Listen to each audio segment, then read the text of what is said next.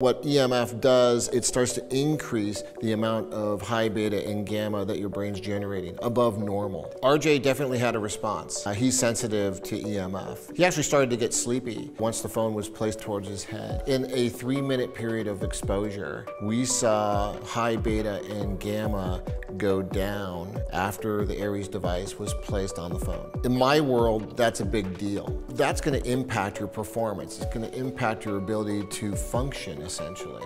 If you're being exposed to a radiation that's an irritant and your brain is constantly put in a space where it has to run in red line much of the time, you don't have much room for flexibility. There's no gearing down. When the Aires device is engaged in a diffraction, that is actually creating a stabilization in a waveform, that's removing noise or chatter from the EMF around you, which allows your brain to, to relax essentially, to become less irritated from this external radiation.